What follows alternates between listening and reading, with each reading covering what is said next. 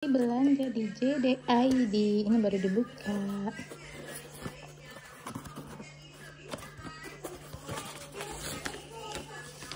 Masih gratis ongkos kirim. Lumayan. Dapat promo.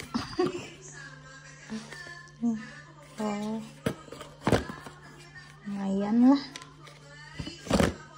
promo promo.